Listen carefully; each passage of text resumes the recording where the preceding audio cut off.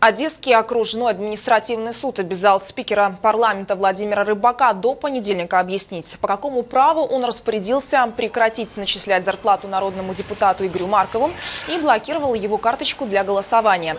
Вчера суд принял к рассмотрению иск одесского политика против председателя Верховного Совета. Суть иска – признать противоправным и отменить распоряжение Рыбака. В рамках этого дела суд принял определение, которым обязал ответчика до 14 октября представить доказательства доказательства правомерности своих действий.